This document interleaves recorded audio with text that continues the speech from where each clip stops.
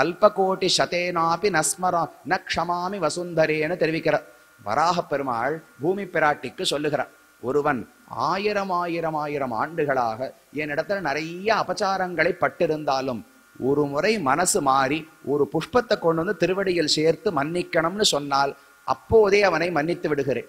ஆனால் ஒரே ஒரு முறை என் பக்தனிடத்தில் அபச்சாரப்பட்டு விட்டு பிறகு கோட்டிக்கணக்கான ஆண்டுகளுக்கு கோட்டிக்கணக்கான தாமரை மலர்களை கொண்டு அர்ச்சித்தாலும் ந க்ஷமாமி அவனை நான் ஒரு நாளும் மன்னிப்பது கிடையாது. அப்ப பக்தனிடத்தில் அபச்சாரப்பட்டால் எந்த அவதாரம் வேணாலும் எடுத்து பாருங்களேன்.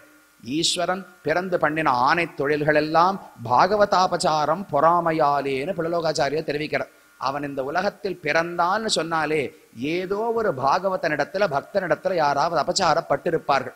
அதற்காகத்தான் பிறக்கிறார். ஹிரண்யகசிபு நாராயணனை துவேஷித்தது எப்போது? பிரஹ்லாதன் பிறந்ததுக்கு அப்புறம் தானா துவேஷிக்க ஆரம்பிச்சார். அவர் ரொம்ப நாளா துவேஷத்தோடு தான் இருக்கிறார். அப்பெல்லாம் நரசிம்ம பெருமாள் அவதரிக்கவே இல்லை. எப்ப பிரஹ்லாதனிடத்தில் அபச்சாரப்பட்டானோ உடனே கோபப்பட்டு வந்து பிறந்து விட்டாரோ இல்லையோ அப்ப தன்னிடத்தில் அபச்சாரப்படுவது பகவான் பொருட்படுத்ததே கிடையாது. சரி குழந்தை சின்ன குழந்தை தாயை அடிக்காதான்னு. கோவப்பட்டு அம்மாவை அடிக்காதா அப்பாவை அடிக்காதா அதை பத்தி பொறுத்துக்கவே மாட்டார். ஆனா ஒரு குழந்தை இன்னொரு குழந்தை அடிச்சதுனால் அந்த தாய் பொறுத்து கொண்டு இருக்க மாட்டா. அப்ப பக்தனிடத்தில் தவறு செய்துவிட்டு பகவானிடத்தில் எவ்வளவு பிரார்த்தித்தாலும் அதை மன்னிப்பது கிடையாது. அப்ப புருஷத்விஷாம் நார்த்ததா மனிதர்களை தவறாக நடத்திவிட்டு பகவானுக்கு பூஜை செய்வது பயன் அளிக்காது என்று கிரகஸ்த தர்மத்தை பத்தி நாரதர் கூறினார். அதற்கு மேல சுருக்கமா மோட்ச தர்மத்தை பற்றியும் பார்த்து விடலாம். கர்மனிஷ்டா த்விஜா கேச்சித் தபோனிஷ்டா நிருபாபரே சுவாத்தியாயன்யே பிரவச்சனே ஏ கேச்சு ஏ கேச்சித் ஞான யோகயோகோ சிலர் பகவானுக்கு யாகங்கள் ஹோமங்களை செய்து அவரை சந்தோஷப்படுத்துகிறார்கள். சிலர் தியானம் செய்து சந்தோஷப்படுத்துகிறார்கள். சிலர் சுவாத்தியாயம் தினமும் வேதத்தை ஓதி ஓதி மகிழ்விக்கிறார்கள். இதெல்லாம் இருக்கட்டும். ஆனால் மிக உயர்ந்த தர்மம் எதுனால் நைதாதிருஷ பரோ தர்ம நிருணாம் சத்தர்மம் இச்சதாம். ஞாசோ தண்டஸ்ய பூதேஷு மனோ வாக்காய ஜயஸ்ய யஹா. முதல்ல மோட்சத்தை நோக்கி ஒருவன் நகர வேண்டும் என்றால் மனம் மொழி மெய் மூன்றையும் ஜெயிக்க வேண்டும். ஜெயிக்கிறதுனா என்னென்னால் மூன்று கரணங்களாலும் வேறு ஒரு பிராணியை துன்புறுத்தாமல் இருக்க வேண்டும். இதுதான் மிக உயர்ந்த தர்மம். இந்த தர்மம் இருந்தால் ஐந்து வகையான அதர்மத்தை பத்தி கூறுகிறார். இதெல்லாம் நமக்கு புரிஞ்சுட்டோம்னால் ஓ இப்ப இப்படியெல்லாம் பிரிச்சு இதை கையாள வேண்டும்னு புரிந்து கொள்ளலாம். ரொம்ப அழகா ஒரு பாதை போட்டு கொடுக்க போறார். நமக்கு என்னென்ன தீய பண்புகள் நல்ல பண்புகள் எல்லாம் நிறைய பார்த்தோமோ இல்லையோ என்னென்ன தீய பண்புகள்னு ஒரு பட்டியல் போட்டு ஒவ்வொன்னையும் போக்குவதற்கு என்ன வழின்னு அழகாக தெரிவிக்கிறார். முதல்ல அதர்மம் என்பது ஐந்தாக பிரிக்கிறார். விதர்மஹா பரதர்மஸ்ச ஆபாசகா உபமா சலஹா. முதல்ல விதர்மம் அடுத்தது பரதர்மம் அடுத்தது ஆபாச தர்மம் அப்புறம் உபதர்மம் அப்புறம் சல தர்மம் அப்படின்னு ஐந்து உண்டா. ஒவ்வொன்று என்னன்னு சொல்றார். விதர்மஹா அப்படின்னால் அதர்ம சாகா பஞ்சேமாக தர்மபாதோ விதர்ம சியாத் நாம தர்மம்னு ஒன்று நினைச்சுட்டு பண்றோம். ஆனா அது தர்மத்துக்கு முரண்பட்டதாக இருந்தால் அதுக்கு விதர்மம்னு பேர் நேரையே தர்மத்துக்கு புறம்பானதுன்னு வச்சுக்கோங்களேன். இதெல்லாம் சாப்பிடக்கூடாது பொய் பேசக்கூடாது யாரையும் துன்புறுத்தக்கூடாதுன்னு சொன்னால் அதை அப்படியே மாத்தி பண்ணேன்னா விதர்மம் என்று நேரடியான அதர்மம். அடுத்தது பரதர்மக பரதர்மம்னால் எனக்கு விதிக்கப்படாத ஒரு தர்மத்தை நான் செய்தால் பரதர்மம்னு பேர் பிரம்மச்சாரி எதை பண்ணணுமோ அதை கிரகஸ்தன் பண்ணக்கூடாது. கிரகஸ்தன் எதை செய்ய வேண்டுமோ அதை பிரம்மச்சாரி பண்ணக்கூடாது. அதை செய்தான் என்றால் அப்ப பரதர்மம். ஸ்ரேயான் ஸ்வதர்மோ விகுணா பரதர்மாத் ஸ்வனுஷ்டிதாத்னு கீதையில கண்ணன் சொல்றார். நமக்கு பழக்கப்பட்டு விதிக்கப்பட்டது எதுவோ அதைத்தான் ஒருத்தன் பண்ணணும். எனக்கு பழக்கப்படாத ஒன்று சுவாமி ஆனால் அவர் பண்ணுறாரு பாருங்க. தியானம் நன்னா பண்ணுறாரு பாருங்க. நானும் தியானம் பண்ண போறேன்னு சொன்னால் அதற்கான தகுதி நமக்கு இருக்கான முதல்ல ஆராய்ச்சி பண்ணணும். நமக்கு புலன்களையே அடக்க முடியாது. கண்ணை மூடினாலே மனசு எங்கெங்கேயோ அலபாயும்னால் தியானம் பண்ணவே முடியாது. அவருக்கு அந்த சக்தி இருக்கு தியானம் செய்கிறார். நமக்கு கிடையாதுன்னா பண்ண முடியாது. அப்ப அந்த தர்மம் அவருக்கு விதிக்கப்பட்டது. பிரம்மச்சாரிக்கு வேறு சந்நியாசிக்கு வேறு கிரகஸ்தனுக்கு வேறு. அப்ப வேறு ஒருவருடைய தர்மத்தை நான் கடைபிடிக்க தொடங்கினால் அதுவும் அதர்மம்தான். அது பரதர்மம்னு ஒரு வகையாக சொல்லப்படுகிறது. அதுக்கு மேல சொல்லுகிறார் உபதர்மஸ்து பாகண்டோ தம்போவா சப்தவித் சலஹா உபதர்மம்னு சொன்னால் பாஷண்ட தர்மங்கள். வேதத்துக்கு புறம்பான மதங்கள் இருக்குமோ இல்லையோ? அவர்களுடைய ஆச்சாரங்களை செய்வது உபதர்மம்னு சொல்லப்படுகிறது. அதுக்கு மேல சலம். சலம்னு சொன்னால் ஒரு வார்த்தை உச்சரிக்கிறோமோ இல்லையோ? அந்த வார்த்தையை தவறான ஒரு பொருளில் எடுத்துக்கொண்டு அதை கடைபிடிக்க போனோம்னால் அதற்கு சலம் சலம்னு பெயர் சொல்லுகிறார்கள். அர்த்தத்தை மாத்தணுமோ இல்லையோ? இப்போ ஒரு தானம் பண்ணணும். பசுவை தானமாக கொடுன்னு ஒரு வேத வாக்கியம் சொல்றதுன்னு வச்சுங்களேன். தானம்னு சொன்னாலே பொதுவா நல்ல உபயோகத்துக்கான பொருளைத்தான் தானம் கொடுக்கணும். இதெல்லாம் நம்ம வீட்டில் இனிமேல் வேலை செய்யாது எனக்கு பயன்படாதோ? அதையெல்லாம் எடுத்து ஒருத்தர்கிட்ட கொடுத்துட்டு நிறைய தானமெல்லாம் பண்ணேன்னு சொல்ல முடியாது. எது அவருக்கு உண்மையாக பயன்படுமோ பயன்படுகிற நிலையில இருக்கணும். பசுமாடை தானம் பண்ணணும்னு வேதம் சொல்லித்து ஒருத்தர் என்ன பண்ணார்? பசுமாடு தானே சொல்லித்து நான் வயசான ஒரு பசுமாடை தரேன். அதால குழந்தை கன்றுக்குட்டியும் போட முடியாது பாலும் கொடுக்க முடியாது எந்த நல்லதும் கிடையாது. அதை கொடுத்துட்டு தானம் பண்ணேன். பசுமாடு தானம் கொடுத்தது கொடுத்து கொடுக்க சொல்லித்து கொடுத்தேன்னு சொல்ல முடியாது. பசுமாடை கொடுன்னு சொன்னால் அதை பெற்றவர் அதை கொண்டு வாழ்வதற்கு ஒரு ஆதாரமாக அது இருக்கணுமோ இல்லையோ? அது என்ன பால் கொடுக்கறதோ அதை வச்சு தன் குடும்பத்தையான நடத்த முடிய வேண்டும். அப்படின்னா தான் பசுவை தானம் கொடுத்தேன்னு அர்த்தம். ஆனா இந்த என்ன பண்றோம்? சப்தத்தை தவறான அர்த்தத்துக்கு இழுத்துட்டு போகிறோமோ இல்லையோ? பசுவை தானம் கொடுன்னு சாஸ்திரம் சொல்லித்து கிழட்டு பசுவும் பசு தானே அதனால கெட்டு கேட்டு பசுவை கொடுக்குறேன்னு சொன்னால் சல தர்மம்னு பேர். வேதத்தை ஏமாத்தி தர்மம் பண்றோம்னு நானும் பார்க்குகிறோம். அதற்கு சலம்னு பேர். எஸ்து இச்சையா கிருத பும்பிகி ஆபாசோ ஹியாசிரமாத் பிரதகு. வேதத்திலே சொல்லப்படாத ஒரு நிலை. பிரம்மச்சாரி வானப்பிரஸ்தன் சன்னியாசி கிரகஸ்தன்னு சொல்லியிருக்கோம் இல்லையோ? இது நாலுமே இல்லாமல் புதுசா நாமோட கண்டுபிடிச்சு அவர்கள் இன்னென்ன தர்மத்தெல்லாம் பண்ணணும்னு சொன்னால் அதற்கு தர்ம ஆபாசம்னு பெயர். ஆபாசம்னா தோற்றமளிக்கும். ஆனா உண்மையா தர்மம் கிடையாது. நான் என்ன பிரம்மச்சாரியும் கிடையாது. ஆனால் கல்யாணமும் பண்ணிக்கல. ஆச்சாரியனோட சேர்ந்து வாழ்ந்து ஒருவன் படித்து கொண்டிருக்க வேண்டும். முடிச்சு வீட்டுக்கு வந்த உடனே நேர போய் பெண்ணை தேடி திருமணம் செய்து கொள்ள வேண்டும். அப்ப பிரம்மச்சாரி முடிஞ்சா கிரகஸ்தாசிரமம் வரணும். கிரகஸ்தாசிரமம் முடிஞ்சா ஆசைப்பட்டா சன்னியாசிக்கு போகணும். எந்த ஆசிரமத்திலும் சேராமல் நடுவுல ஒருத்தர் தொங்கின்னு இருக்கார்னால் அப்ப தர்ம ஆபாசம்னு அதற்கு பெயர். இதெல்லாம் அதர்மத்தினுடைய வகைகள். விதர்மம் தர்மத்துக்கு புறம்பானது. பரதர்மம் வேறொருத்தருக்கு விதிக்கப்பட்ட தர்மம். உபதர்மம் வேதத்துக்கு புறம்பான செயல்கள். அதுக்கு மேல சலம் வேதத்தினுடைய சொல்லை தவறாக அர்த்தம் பண்ணிக்கொண்டு செய்யக்கூடிய காரியங்கள். கடைசியாக சொன்னார் சுவாபாவ எஸ்து இச்சையா கிருத பும்பிர் ஆபாசகா நானா புதுசா ஒரு தர்மத்தை கண்டுபிடிக்கிறது. அதை கண்டுபிடிச்சு இது புண்ணியம்னு சொன்னோம்னால் அதற்கு தர்மாபாசம்னு பெயர். இது அனைத்தையும் ஒருவன் தவிர்க்க வேண்டும். சரி என்னென்ன இடர்கள் மோட்சம் அடைவதில் என்னென்ன தடைகள் உள்ளன அதை எப்படி தாண்ட வேண்டும்னு கூறுகிறார் அசங்கல்பா ஜயேத் காமம் குரோதம் காம விவர்ஜனாத் அர்த்தானர்த்தேக்ஷயா லோபம் பயம் தத்வாபமர்சனாத் ஆன்வீக்ஷிக்யா சோகமோகௌ தம்பம் மகதுபாசையா யோகாந்தராயான் மௌனேன ஹிம்சா காயாத்யஹீனயா. சுருக்கமாக பார்க்கலாம். முதலில் பெரிய எதிரி காமம். ஆசைகள் தானே முதலில் எதிரி மோட்சம் அடைவதற்கு. அதை எப்படி போக்கலாம்னால் அசங்கல்பாத் உடல் வேறு ஆத்மா வேறு என்று புரிந்து கொண்டால் உலக விஷயங்கள்ல ஆசை போயிடும்னு தெரிவிக்கிறார் நமக்கு ஏன் ஆசை வருது? ஒரு மாலை போட்டுக்கணும்னு ஆசை வருது. சந்தனம் பூசிக்கணும்னு ஆசை வருது. ஒரு பொருளை சாப்பிடணும்னு ஆசை வருதோ இல்லையோ? ஏன் வருகிறதுனால் அந்த மாலை என் உடலை தொட்டால் ஒரு குளிர்ச்சி ஒரு மனம் தெரிகிறது. சந்தனம் உடம்புல பட்ட உடனே ஒரு குளிர்ச்சி வருது. இதெல்லாம் எனக்கு இன்பம் நினைத்துக் கொள்கிறேனோ இல்லையோ?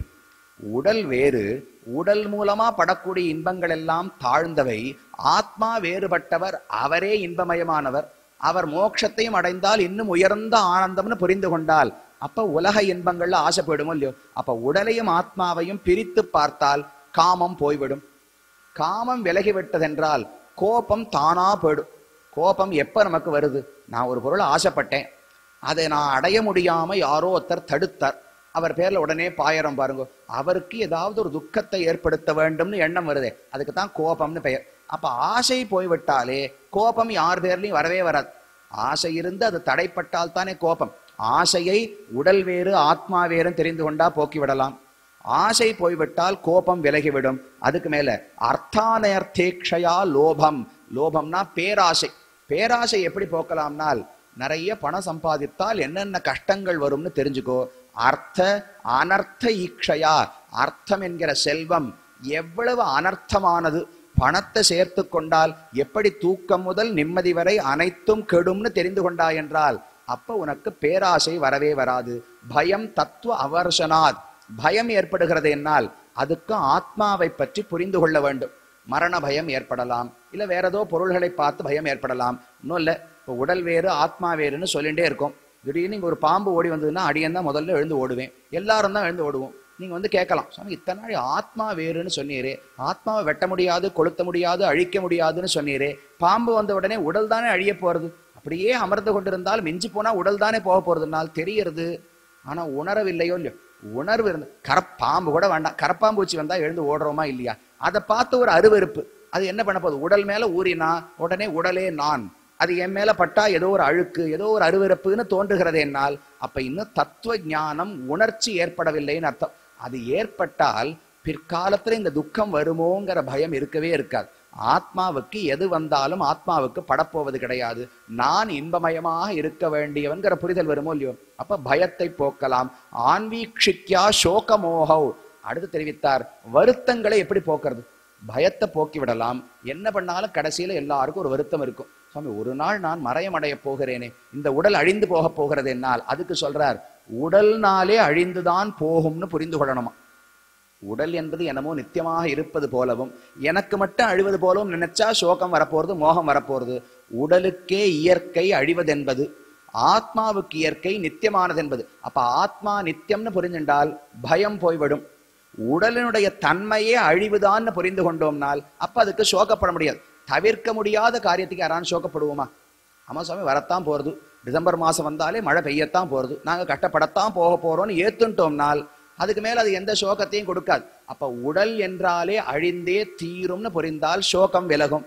ஆத்மா நித்தியமானவர் அவருக்கு எந்த துக்கமும் வராதுன்னு புரிந்து கொண்டால் பயம் விலகப் போகிறது. மேல தம்பம் மகது உபாசையா தம்பம்னு சொன்னால் ஒரு தர்ம காரியத்தை செய்யும் போது இதனால எனக்கு ஒரு புகழ் ஏற்படும்ங்கிற எண்ணத்துல பண்ணலாமோ இல்லையோ? அதுக்கு தான் தம்பம் தம்பம்னு பெயர் அதை எப்படி போக்கணும்னால் பெரியோர்களை பணிந்து பல உபச்சாரங்களை செய்தால் அந்த தம்பம் மெது மெதுவா விலகுமா பெருமாளுக்கே ஒரு பெரிய நாம உபயம் பண்ணுவோமோ இல்லையோ? பண்ணும்போது நாம் பத்தாயிரம் ரூபாய்க்கு மாலை சாத்தலாம் பெரிய ப பட்டாசு வெடியெல்லாம் போடலாம் போட்டு நான் தான் இவ்வளவு பெருசுக்கு பண்ணேன். மற்ற நாள்லாம் இவ்வளவுலாம் பெருசாக கொண்டாடவே இல்லை. பெருமாள் இவ்வளவு பெரிய மாலை சாத்தின்னு இருக்கார் பார்த்தீங்களா நான் தான் வாங்கி கொடுத்தேன். இவ்வளவு பட்டாசு போட்டிருக்கா பாத்தீங்களா நான் தான் ஏற்பாடு பண்ணேன். அப்படின்னா தம்பம். இந்த பெருமையை பகட்ட காட்டணுங்கிறதுக்காக தர்ம காரியம் செய்கிறோம்னு அர்த்தம். அது எப்படி விலகும்னால் அந்த தம்பமே இல்லாத சான்றோர்களோடு பழகின்றே இருந்தோம்னால் அது எவ்வளவு துச்சமானது நம்ம குழந்தைத்தனமான ஒரு பேச்சுன்னு புரிந்துவிடும். அப்ப தம்பம் விலகுகிறது. அதுக்கு மேல சொல்றார் யோகாந்தராயான் மௌனேன ஹிம்சாம் காயா தியனீகையா கிருபையா பூஜ பூதகதம் துக்கம் தெய்வம் ஜஹ்யாத் சமாதினா ஆத்மஜம் யோக வீரியேன நித்ராம் சத்வ நிஷேவையா வரிசை இன்னொன்னு கொஞ்சம் சொல்றார்.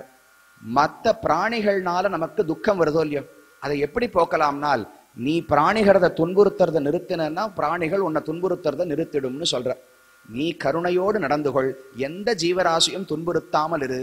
அப்ப அவை உன்னை துன்புறுத்தாமல் இருக்கும். நமக்கு ஏற்படக்கூடிய துக்கங்களை மூன்றாக பிரிப்பார்கள். ஆத்தியாத்மிகம் ஆதி பௌத்திகம் ஆதி தெய்வீகம்னு மூணு உண்டு. ஒண்ணு நாம் பண்ண பாப்பத்தால எனக்கு வரக்கூடிய வியாதி இதெல்லாம் ஆத்தியாத்மிகம். ஆதி பௌத்திகம்னா இது பாம்பு பூரான் தேழு இதெல்லாம் இருக்கும் இல்லையோ? அதனால வரக்கூடிய துன்பம். ஆதி தெய்வீகம்னால் தெய்வங்களால வரக்கூடிய பூகம்பம் ஆழிப்பேரலை இது போல பெரிய பெரிய விஷயங்கள்லாம் வருதோ இல்லையோ? அதெல்லாம் ஆதி தெய்வீகம்னு சொல்லப்படுகிறது. இந்த மூன்றுக்குள்ளே ஆதி பௌத்திகத்தை எப்படி ஜெயிக்கலாம்னால் நாம பூதங்களிடத்தில் கருணையோடு நடந்தால் காலப்போக்கில் அவை நம்மை பாதிக்காது. அடுத்து தெரிவிக்கிறார் தெய்வம் ஜஹ்யாத் சமாதினா திருப்தி அடைந்து விட்டோம். எனக்கு எது கிடைக்க வேண்டுமோ கிடைத்திருக்கிறது. இதற்கு மேல் எனக்கு ஆசை இல்லை என்கிற திருப்தி அடைந்து விட்டால் அப்ப தெய்வங்கள் நம்ம துன்புறுத்துறதை நிறுத்திடுமா? சரி உடல் உபாதைகளை எப்படி நிறுத்தலாம்னால் ஆத்மஜம் யோக வீரியேன பிராணாயாமம் ஆசனங்கள். இந்த ரெண்டையும் செய்தால் உடலால் வரக்கூடிய ரோகங்களையும் ஜெயித்து விடலாம். சரி அதுக்கு மேல மனசை எப்படி ஜெயிக்கலாம்? நித்ராம் சத்வ நிஷேவையா? ரஜஸ்தமஸ்ச சத்வேன சத்வம் ச உபசமேனச்ச ச. நித்ரா தூக்கத்தை ஜெயிக்கணுமே எப்படி ஜெயிக்கலாம்னு கேட்டால் சத்துவ நிஷேவையா? சத்துவ குணத்தை வளர்த்து கொண்டால் தூக்கம் நமக்கு கம்மியா தேவைப்படுமா? தமோகுணம் அதிகமா இருந்தா நிறைய தூக்கம் தேவைப்படும். சத்துவகுணம் அதிகமா இருந்தா தூக்கம் குறைவாக வரும்னு சொல்லல. தூக்கம் குறைவாக போதுமானதாக இருக்கும்னு சொல்ற. ஏன்னா கம்மியா வந்து ஆனா தேவை அதிகமா இருந்தா பிரயோஜனமே கிடையாது. அது வேற வியாதிக்கு கொண்டு போக போறது. அப்ப தூக்கத்தினுடைய தேவையை குறைக்க வேண்டும்னால் குடாகேசன் குடாகேசன் அர்ஜுனனுக்கு பேர் உண்டு பார்த்திருக்கீங்களா?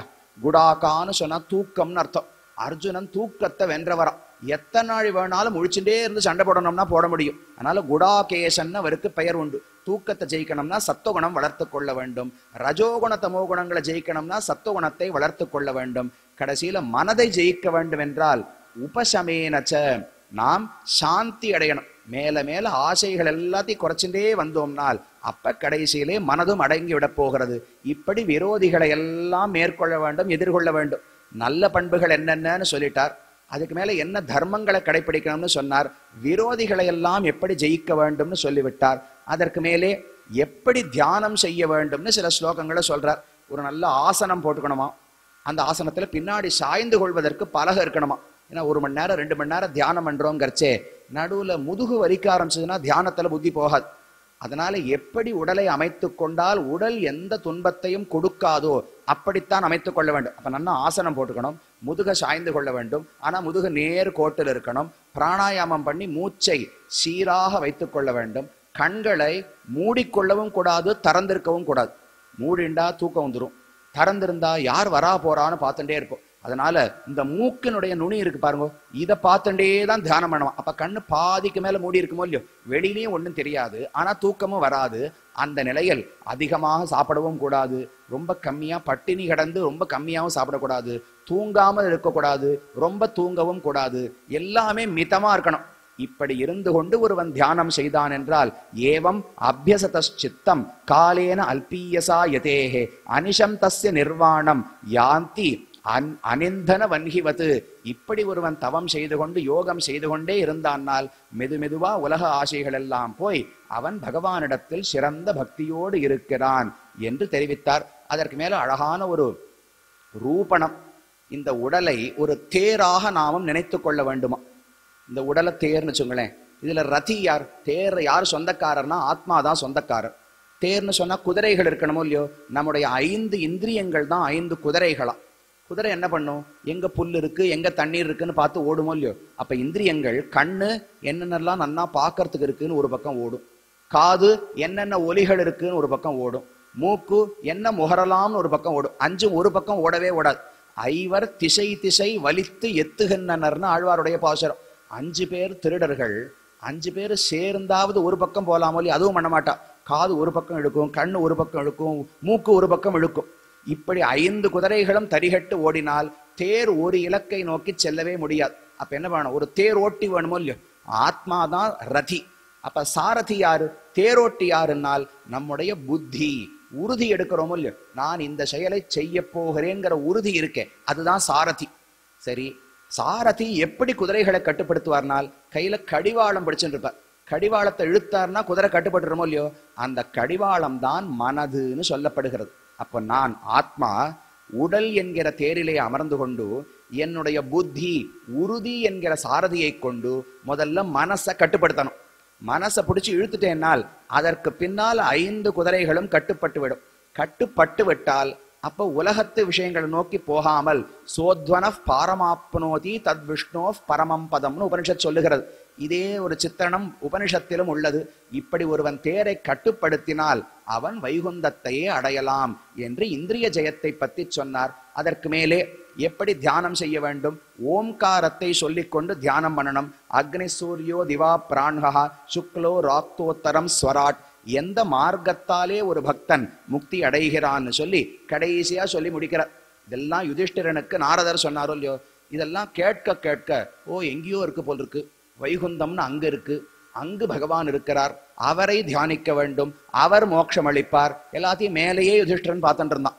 மெதுவா நாரதர் தட்டி கூப்பிட்டு எங்கேயோ எல்லாம் இல்ல தோ கண்ணன் இருக்காரே அவரை பத்தி தான் இத்தனை நாள் சொல்லிட்டு இருந்தேன்னு தெரிவிக்கிறார். யதாஹி யூயம் நிருபதேவ துஸ்தியஜாத் ஆபத்கணாத் உத்தரதாத்மன பிரபோஹோ யத்பாத பங்கேருக சேவையா பவான் அஹார்ஷீஹி நிர்ஜித திக்கஜ கிரதூன் யுதிஷ்டரா நீங்கள் சந்திக்காத ஆபத்தே கிடையாது।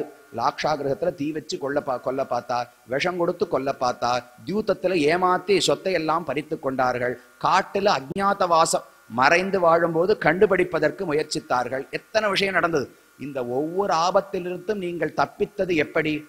பகவான் கண்ணனை பற்றி இருந்தபடியாலே அந்த கண்ணன் தான் மோட்சம் அளிக்க வேண்டும். உங்களுக்கு மட்டும் அவர் பலம் நினைக்க வேண்டாம். உலகத்தில் அனைவருக்குமே அவர்தான் துணையாக இருக்கிறார். நகி ஆர்ஷீத் நிர்ஜத திக்கஜா சுஷ்ரூஷயானுஷங்கேன பிராப்தோகம் பிரம்மபுத்திரதாம். தர்மஸ்தே கிரகமேதீயோ வர்ணித பாபநாசனः சவாயம் பிரம்ம மகத்விமிருக்யம். கேவல்ய நிர்வாண சுகானுபூதி பிரிய சுகிருத்வ கலு மாதுலேய ஆத்மார்கணியோ விதிகிருத் குருஷ்ச நான் இத்தனை நாளா உலகத்தை படைத்தவர் உலகத்தை எல்லாம் இயக்கக்கூடியவர் உலகத்துக்கு சொந்தக்காரர் இப்படின்லாம் சொன்னேனே அவர் வேற யாரும் கிடையாது மாதுலேயா உனக்கு மாமா பிள்ளை யுதிஷ்டனுடைய தாயார் பிரதாங்கிற குந்தி குந்தியினுடைய சகோதரர் வசுதேவர் வசுதேவருக்கு பிள்ளை கண்ணன் அப்ப கண்ணனுக்கு யுதிஷ்டர் பாண்டவர்கள் ஐந்து பேருமே அத்த பிள்ளை இவர்களுக்கு மாமா பிள்ளையோ இல்லையோ நீ எங்கேயோ தேட வேண்டாம். சஹா அயம் பிரம்ம. பிரம்மம் பிரம்மம்னு யாரை பத்தி சொன்னேனோ அவர்தான் கண்ணனாக உன்னுடைய மாமான் பிள்ளையாக பிறந்திருக்கிறார். மகத் விமிருத்யம் கைவல்ய நிர்வாண சுகானுபூதி கடைசியில வைகுந்தத்தை அடைந்து ஒரு ஆத்மா என்ன ஆனந்தப்படுவாரோ அந்த ஆனந்தத்தை வடிவமாகவே இருப்பவர் இவர்தான். இவரை பத்தித்தான் சொன்னேன். நீ புரிந்து கொண்டு ந எஸ்ய சாக்ஷாத் பவபத்ம ஜாபிதி ரூபம் தியா வஸ்து யோக வர்ணிதம். மௌனேன பக்தியோபசமேன பூஜிதா. பிரசீததாம் ஏஷச சாத்வதாம் பதிஹி. நான் சொன்ன அத்தனை தர்மங்களாலும் நீ கடைப்பிடித்தாய் என்றால் இந்த கண்ணன் திருப்தியடைந்து இதுவரைக்கும் எப்படி உலக துன்பங்களில் ரட்சித்தாரோ அதை தாண்டி பாபங்கள் அனைத்தையும் போக்கி சாத்வதாம் பதிகி நல்லோர்கள் சான்றோர்களுக்கெல்லாம் தலைவனாக இருக்கும் கண்ணன் உனக்கு மோட்சத்தையும் அருளுவார் என்று சொல்லி நாரத உபதேசத்தை முடித்துவிட்டு தானும் திரும்ப புறப்பட்டு செல்லுகிறார். இது பாகவத புராணத்திலே நாரதருக்கும் யுதிஷ்டிரருக்கும் நடந்த ஒரு சம்வாதம். முதலில் தர்மம் என்னன்னு கேட்டான். பண்புகளை வளர்த்துக் கொள்வதுதான் தர்மம். பாதை கூட அப்புறம். எப்படி தர்மம் என்ன பண்ணணும்? சொர்க்கத்துக்கு போகணுமா? நரகத்துக்கு போகணுமா? மோட்சத்துக்கு போகணுமா? அதெல்லாம் கடைசியில சொல்லுகிறேன். தர்மம்னு சொன்னாலே பண்புகளை வளர்த்துக் கொள்வதுதான் சிறந்த தர்மம்னு முதல்ல சொன்னார். அடுத்தது மத்த ஆசிரமங்களை காட்டிலும் கிரகஸ்தனுக்கு பொறுப்பு அதிகம். ஏன்னா உலகமே இயங்குவது கிரகஸ்தனாலத்தான். சன்னியாசியும் பணம் சம்பாதிக்க முடியாது. வானப்பிரஸ்தன் ஊருக்கே வரப்போறது கிடையாது. பிரம்மச்சாரியும் பணம் சம்பாதிக்க முடியாது. அப்ப அவ ரெண்டு பேருமே இவரை நம்பித்தான் இருக்கணும். கீழே ஒரு பாசுரம் சொன்னேனே ஐயமும் பிச்சையும் ஆந்தனையும் கைகாட்டின்னு இருக்கோ இல்லையோ? ஐயம்னு சொன்னாலும் தானம்னு அர்த்தம். பிச்சைன்னு சொன்னாலும் தானம்னு அர்த்தம். என்ன வேறுபாடுனால் பிக்ஷை என்கிற சம்ஸ்கிருத சொல் சந்நியாசிகளுக்கும் பிரம்மச்சாரிகளுக்கும் கொடுக்கிற பிக்ஷையை குறிக்கும். அது அப்படியே தமிழ்ல ஆண்டாள் பிச்சைன்னு தெரிவித்தார் அப்ப ஐயம்னு சொன்னா என்னன்னால் கிரகஸ்தர்கள்ல எத்தனையோ பேர் துன்பப்படலாமோ இல்லையோ தானம் எதிர்பார்த்து இருக்கலாம் அவர்களுக்கு தானம் கொடுப்பதற்கு ஐயம்னு பெயர். அப்ப மத்த கிரகஸ்தர்களையும் முடியாதவர்களையும் இவர்கள் தாங்க வேண்டும். பிரம்மச்சாரி சந்நியாசியும் இவர்கள் தான் தாங்க வேண்டும். அப்ப கிரகஸ்தனுக்கு பொறுப்பு அதிகம். அந்த ஆசிரமத்துல அப்ப நிறைய பேர் இருக்கணும்.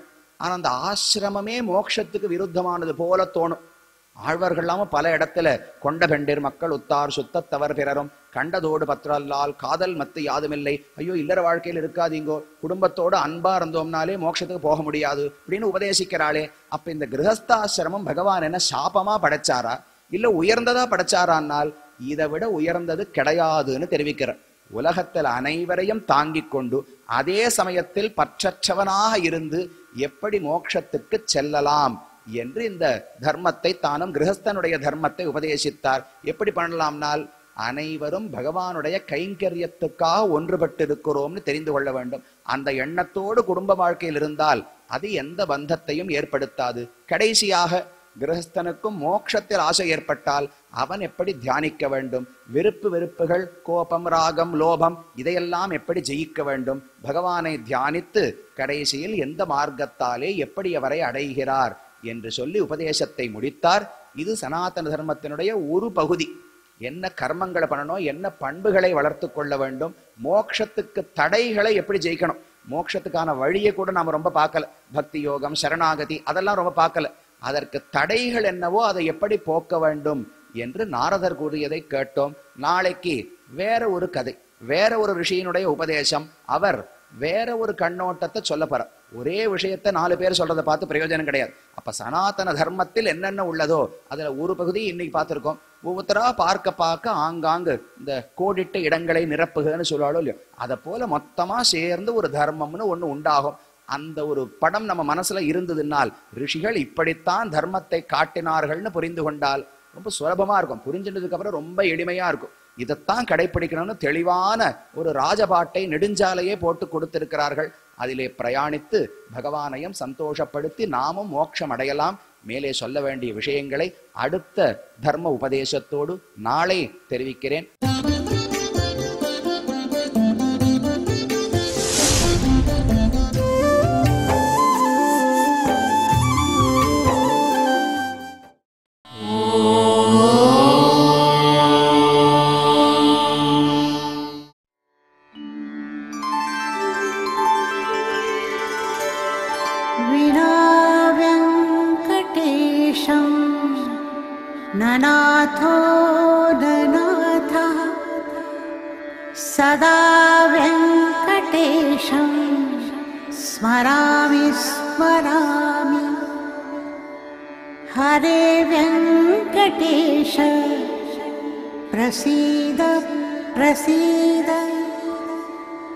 प्रियं वेङ्कटेश प्रयच्छ प्रयच्छ